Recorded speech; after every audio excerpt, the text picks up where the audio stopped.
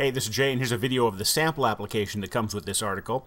I'm using the iPhone or the uh, iPad uh, simulator here, but you can also use iPhone or Galaxy Tab or whatever. I'm just going to click New Deck down here, and it gives us a deck of cards in New Deck order.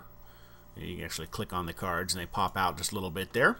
And then I'm going to hit Shuffle, and it shuffles the cards. And if I hit Shuffle again, it gives us another shuffle um, and I click new deck and it goes back to new deck order.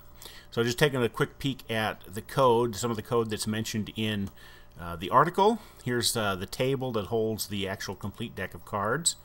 Uh, the shuffle function, the table copy function that I talk about, um, and then there's some other functions in here that I don't actually talk about in the article, but it's just uh, used to make the uh, the sample app a little more interesting, such as pop card, which is you know pops the card out and then and then puts it back. Um, display card, I mentioned this function, uh, but this is the, the the full thing, including adding the event listener. Um, display deck, that function, and then down here at the bottom is just the uh, the shuffle cards and the new deck text that can be clicked on to make things happen. So you can go through the entire uh, code and look at it and and copy out the shuffle function or, or the table copy function to use in your own programs.